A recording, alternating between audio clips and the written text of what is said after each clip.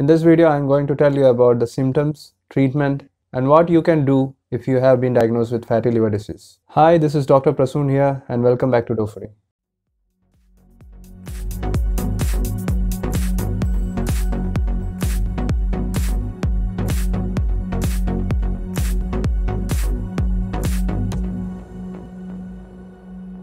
Liver is the biggest organ in human body. When fat deposition increases in the liver cells, it is called as fatty liver disease. It is most commonly seen in alcoholic persons. But when it happens in persons who consume little or no alcohol, it is called as non-alcoholic fatty liver disease or what is commonly known as just fatty liver disease. When fat starts accumulating in the liver cells, over time, the liver function decreases. If left untreated, it can lead to liver failure or liver cancers, and sometimes liver transplantation surgery might be required. Non-alcoholic fatty liver disease is a very common condition, and it is said that 1 in 4 persons is suffering from fatty liver disease. The three main reasons which leads to fatty liver disease is 1. Overweight 2. Diabetes and 3. High cholesterol level in your blood. What are the symptoms of fatty liver disease?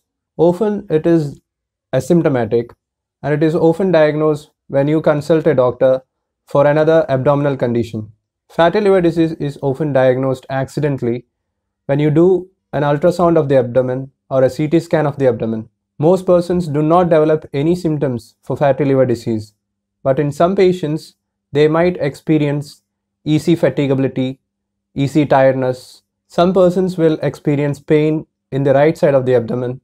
If fatty liver disease is left untreated or left unattended to, it will lead to the next stage of the disease. This stage is called as non-alcoholic steatohepatitis. It is a condition which is very similar to hepatitis and it is characterized by scarring of the liver tissue, inflammation and swelling and it can often lead to reduction in the functioning of liver.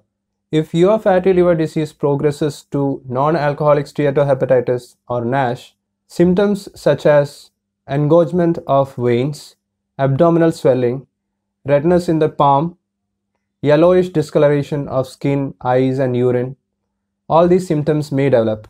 NASH is common in older persons, in those persons who have truncal obesity, and in those persons who are suffering from diabetes. An important point to note in the treatment of fatty liver disease is to prevent the progression of the disease to the second stage or prevent the progression of the disease to NASH. Now this can be done only by adopting a healthy diet, by starting to work out, by switching from refined white rice to whole grains, brown rice, including more fruits and vegetables in your diet, and always using healthy fats and oils for cooking. If you haven't already watched the video about the differences between white rice and brown rice, I will leave a link below the like button. What are the food items that you can eat if you have been diagnosed with fatty liver disease? Switch over from white rice to whole grains, whole wheat, brown rice. Include oats meal every day. Try to include as much fruits and vegetables in your diet as possible. Many studies have shown that broccoli, a commonly available vegetable, broccoli can prevent the accumulation of fat in liver cells and it is very friendly for persons who are suffering from fatty liver disease. Omega-3 fatty acid containing fish such as sardine, tuna, all can be included in your diet. But instead of frying it, try to make it a curry, steam it or grill it. Walnuts, which are also rich in omega-3 fatty acids, have also been found to be liver friendly. Try to eat at least one handful of fresh fruit every day. Do not make fruit juices and drink it. Whole seasonal and fresh fruits are highly recommended, particularly fruits like avocado, which has also been proven to decrease the accumulation of fats in liver cells. And what are the food items that you should be avoiding if you have been diagnosed with fatty liver disease? Try to stay away from fried food. Stay away from sweets, candies, cookies, and other bakery items. Fruit juices, soft drinks, and alcohol is not, is not at all advisable for persons who are suffering from fatty liver disease. Instead of using butter and other saturated fats, switch over to polyunsaturated fatty acid containing oils such as olive oil, sunflower oil. What are the treatment options if you have been diagnosed with fatty liver disease? The first and foremost thing to do is to cut down on your body weight, make it a normal body weight. Ideally, it is recommended that your body weight should be 100 less than your height in centimeters. For example, if your height is 175 centimeters, subtracting 100 from it gives us 75 and that should be the range of your desired body weight.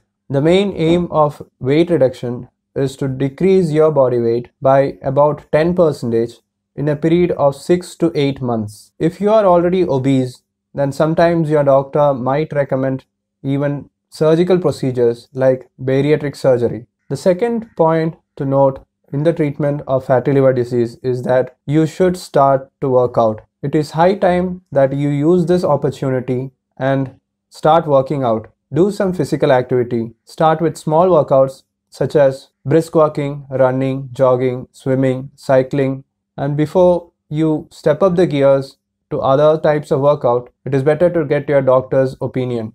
If you remember the three reasons for fatty liver disease to develop, you might not have forgotten about diabetes. So if you are a person who is suffering from diabetes and has also been diagnosed with fatty liver disease, you must control your blood sugar level. For that, you should be adopting a diabetic friendly diet. You should monitor your blood sugar level and keep a record of it. Take all the medicines as prescribed by your diabetes doctor and try to keep your blood sugar level in the normal range as much as possible. If your blood cholesterol level is high, for reducing your cholesterol, you should be taking medicines to decrease the blood cholesterol level. The aim here is to increase the amount of high density lipoprotein, HDL, which is also known as the good cholesterol, and decrease the amount of LDL, or low density lipoprotein, which is also known as the bad cholesterol. Some studies have found out that drinking one or two cups of coffee can prevent the progression of fatty liver disease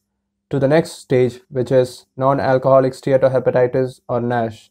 And lastly, you should be aware that there are some lifestyle habits such as alcoholism, which is notorious to, to adversely affect the functioning of our liver. Now, if you are someone who has already been diagnosed with fatty liver disease, please do not consume alcohol because it will increase the damage which has already started as a result of fatty liver disease. And if you are trying to start other types of herbal, natural, or Ayurvedic medicines, please consult your gastroenterologist before starting any type of such medicines because some herbal medicines have been found to directly and adversely affect the functioning of liver and even some have been found to be liver toxic. So protect your liver, reduce your body weight, adopt a healthy diet, start doing some exercises, control your diabetes and blood cholesterol level and reduce your body weight. Now these are the things that you should be doing to treat your fatty liver disease.